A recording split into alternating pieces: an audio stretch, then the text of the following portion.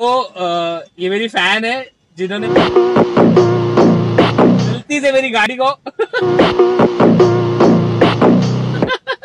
टकरा गई, अभी मुझसे फ़ोटो मांग रही है। So sweet